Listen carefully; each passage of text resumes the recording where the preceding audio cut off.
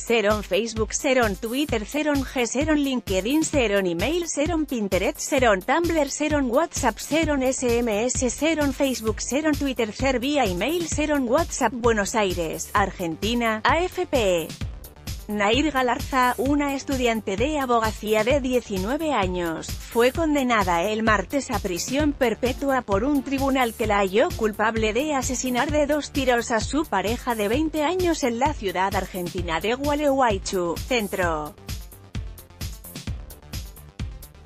Galarza mantenía una relación tormentosa con el estudiante asesinado, Fernando Pastoricho.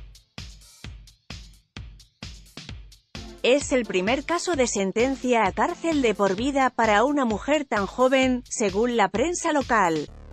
El juez Mauricio Derudi, presidente del tribunal, dijo al leer la sentencia que se trató de un homicidio calificado por ser de una persona con quien ha mantenido relación de pareja. El crimen ocurrió en la madrugada del 29 de diciembre de 2017. Galarza dijo en el juicio que los disparos fueron accidentales en medio de una discusión. El arma era una 9 milímetros del padre de la muchacha, un policía de la ciudad, situada a 230 kilómetros al norte de Buenos Aires.